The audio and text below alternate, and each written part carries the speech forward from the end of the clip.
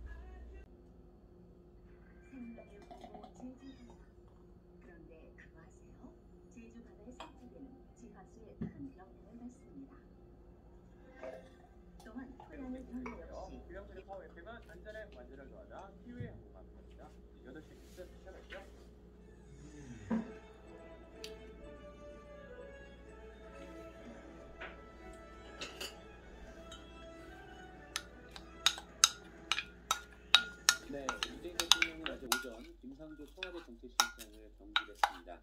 어, 김상조 실장은 임대료 인상폭을 5%로 제한한 임대차 3법이 시행되기 전에 이 본인이 소유 중인 캐스는 그 전체 결과들을 살펴본 결과 이 회의는 철학이 아닌 오세훈 후보의 장애인이라고 보도를 했습니다. 뭐 오세훈 후보가 그 자리에 있었다라는